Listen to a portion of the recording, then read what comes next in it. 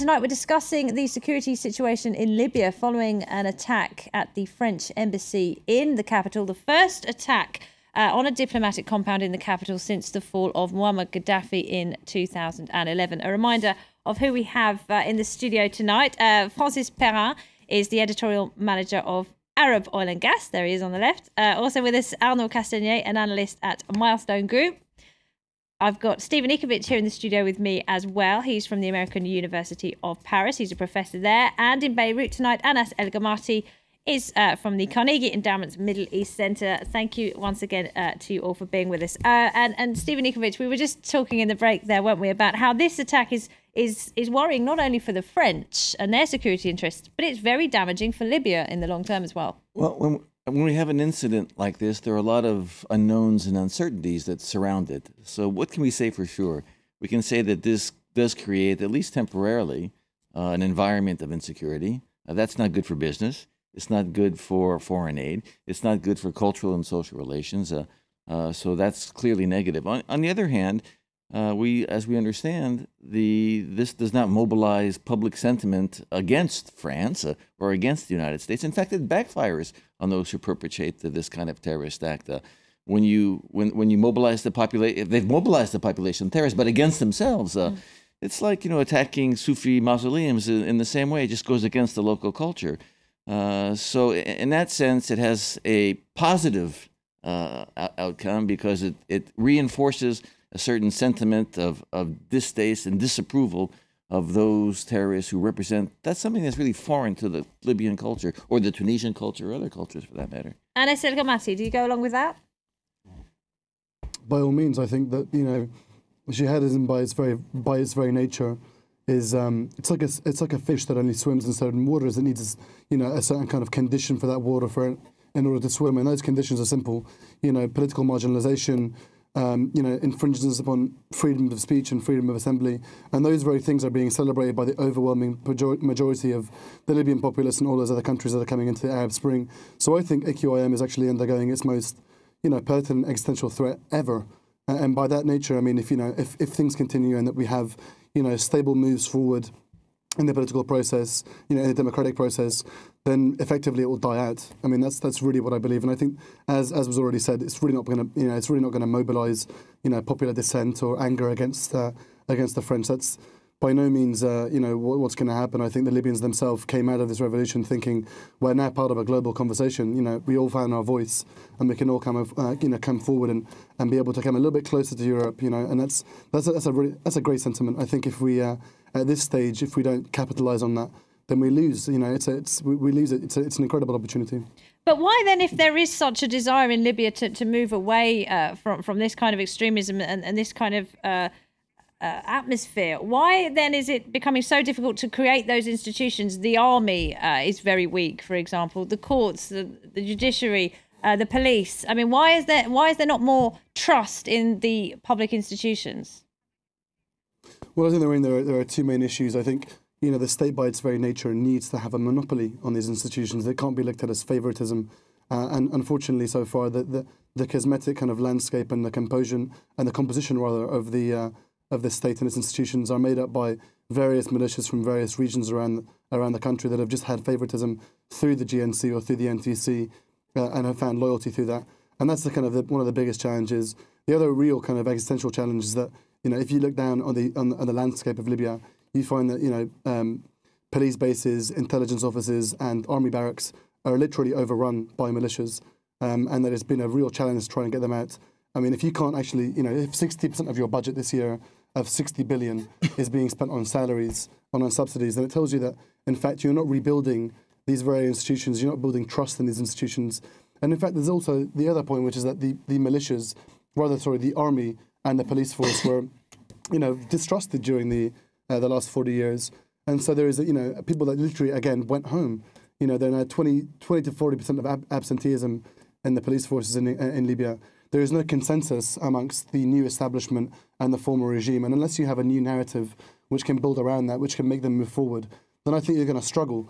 I think that's really where the trust kind of lies in being able to have some kind of inclusive dialogue which can bring people forward onto a national project which will build these institutions up and allow, you know, security and stability to prevail. I, and one of the we should add that one of the biggest challenges today for Libya is to build a state. Uh, unlike Tunisia, which has a history of a state and the presence of a state, uh, Libya doesn't have that, particularly after the fall of Gaddafi. Uh, so we can say that the Libyans are almost starting from zero, and that's another challenge uh, that uh, makes makes uh, makes th- their their uh, movement They're toward going from uh, democ- scratch. well, practically starting from scratch.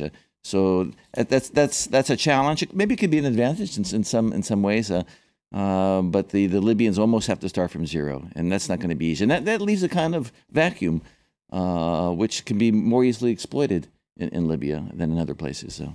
Um, Arnaud it seems this, this could go uh, one of two ways. And when you've got these kind of attacks, it'll either galvanise uh, the Libyan people to really stand up to jihadism and, and root them out of the communities, as we saw in the wake of the Benghazi attack. Or on the other hand, it could deter uh, investment, it could deter foreign business, and, and that could uh, could leave Libya in, in a very different place. Yeah, um, security issues are, are preventing Libya um, from being on the path of rec- recovery, even if, despite the, those issues, um, oil production, for instance, is uh, is very similar to the uh, the pre-war to the pre-war um, um, fi- figures. So um, I, I, think what is pretty important is also that we there's a big gap of perception of uh, the authority of the state between Tripoli and the rest of the country.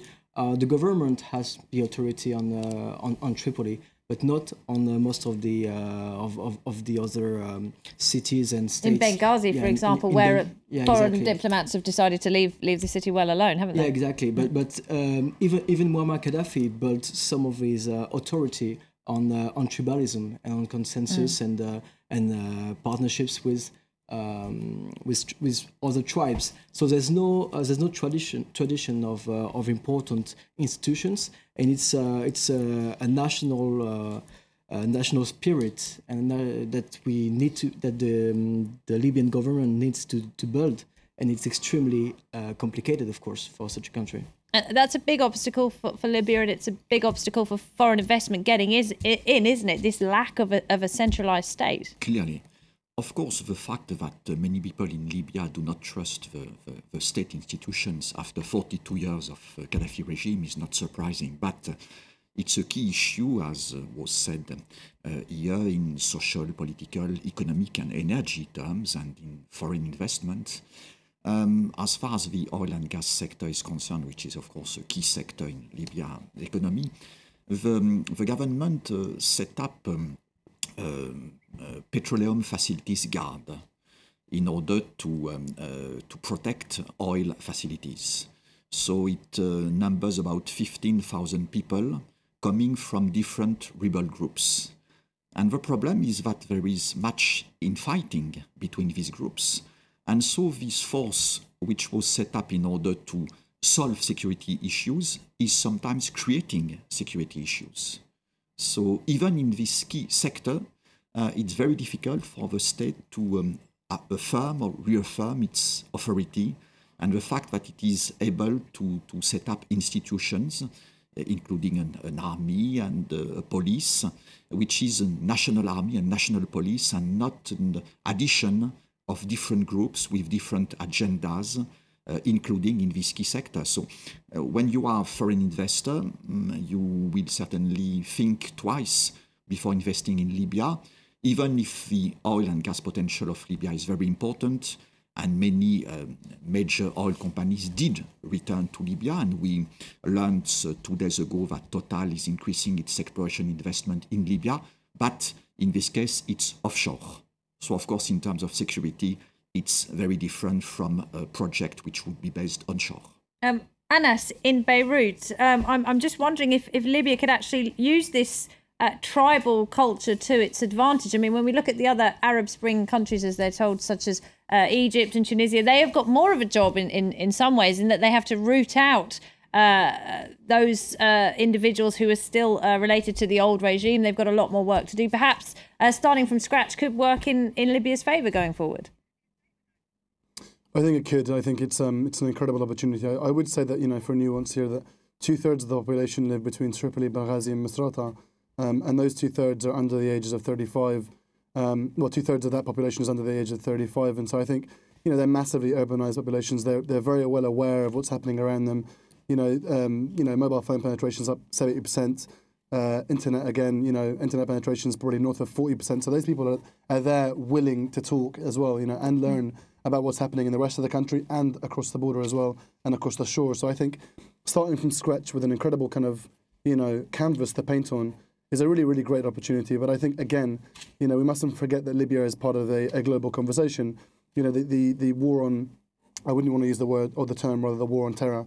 That has some negative connotations towards it. But rather, the, uh, the you know, the, the, kind of moves towards ousting extremism is, again, a global conversation. And it was also a conversation that we had in Europe 70 years ago with, um, you know, with anarchists who were also blowing up cafes, who also had long beards, who also, you know, had this kind of ideological motive to herald a new world through, through supreme acts of violence. These are all things that we've all already gone through. Maybe just a hangover in Libya, but I think there's an incredible opportunity. But you know, I mean, that's that's one that we all have to kind of grasp onto. And I think going forward, if uh, do you, you know, think international sorry, relations do you, or anything to do you think that please sorry do you think Europe is overblowing the the threat from Al Qaeda in the Maghreb in in that from what you're saying it sounds like you think that Al Qaeda in the Maghreb yeah. is not as big a threat as as people are making out well, I think it sounds more like a brand, uh, you know, a corporate brand at that as well. So I think perhaps there are. Well, they have their own Twitter page with, now. They may, they may do. I mean, this is a, a, very interesting thing, like McDonald's, you know. So I mean, it's a, it's a very interesting way of trying to, you know, market themselves. And I think in, in that respect, they're an unequivocally modern kind of entity as well. And I think trying to brand it as such, I think there are, there are definite sympathies across the world, across the North, uh, you know, North African Peninsula. But even if you go towards, uh, you know, uh, the Middle East and the Levant, there are equally groups here in Beirut and in, in Syria as well that have sympathies when it looks at, um, you know, the geopolitical kind of struggles that they're facing.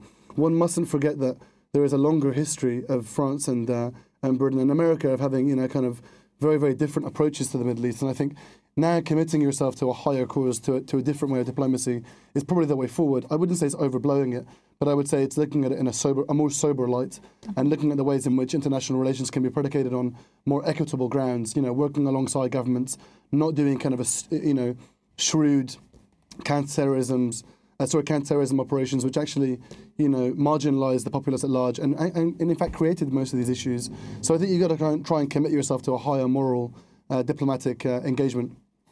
What do you make of that, Steven? Uh, honestly, one of the goals of uh, a terrorist act like this is to provoke precisely the kind of discussion we're having here today on the air. Mm.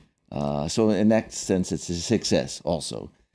because we're talking a lot about it, and that's part of the discussion uh, part of the international discussion because France 24 goes all over the world. Uh, and only not only France 24 is talking about this today, but everybody else. Uh, so in, in that sense, uh, once again, we should probably remind all our, remind ourselves, remind everybody that one of the goals of, of a terrorist act like this is exactly to provoke the kind of discussion we're having on the air right now. Uh, but we are, uh, we are. It, it, appears coming to a kind of consensus that, that good things can can come out of this. That mm. Libya is at least on the Indeed. right path. Indeed.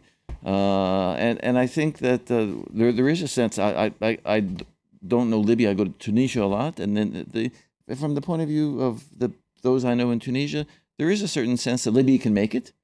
Uh, that there's certain optimism. Uh, uh, of course, Libya does not have the same long history of a strong and, and vibrant civil society that Tunisia has. Uh, but the Libyans evidently have started to build that civil society, and we we wish them the, the best of the best of luck in doing that. Libya has a lot of oil as well, doesn't it? which uh, which can't hurt going forward. I mean, there was a time during the uh, the Arabs the Arab uprisings, people were saying that Libya could be the Dubai of North Africa. Could be a curse too, all of that. yeah, could be a curse, could be a blessing. What do you think? We say in French that comparison is no reason, but uh, perhaps not Dubai would not be the, the best um, uh, example for, for Libya. Of course, it's very different. Dubai was forced to diversify its economy because its oil reserves were uh, becoming to disappear. Libya's, of course, a great future for many years and decades, in fact, in oil and gas.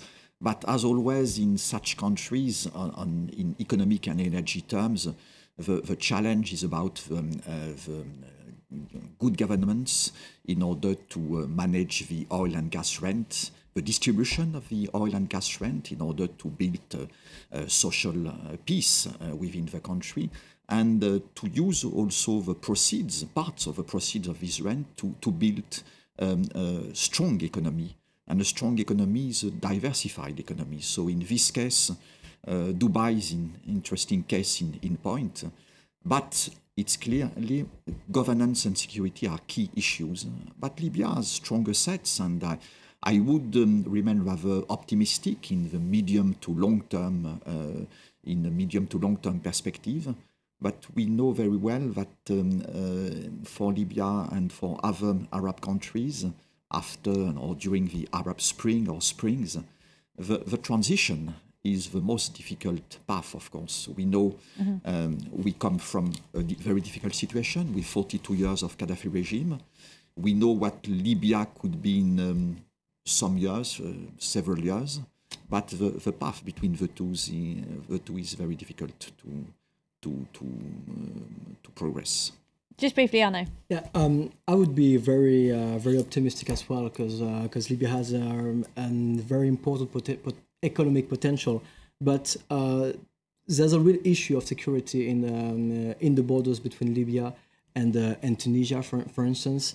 Um, for instance, where, where, whereas there was the uh, the attack on in Amenas, we uh, we then knew that um, that the group of Mokhtar Belmokhtar could go through the um, through the Libyan border, and uh, we know that there are also uh, links between uh, Ansar al-Sharia in Libya and uh, other um, uh, Salafist groups in, uh, in in in Tunisia. So even if um, Libya is is on the path to recovery, to economic recovery, uh, in parallel, there's still this very important issue of terrorism in the region, and uh, and the fact that neither Libya nor uh, nor Mali nor uh, nor even Algeria are able for the moment to uh, to really secure their own borders. There's some work to do on tightening up those borders that we're just looking at right there. All right, we'll have to leave it there. Thank you very much indeed. Arnaud Castaignet, Francis Perrin, Steven Ekovich, Andy Beirut tonight, Anas El Gomati.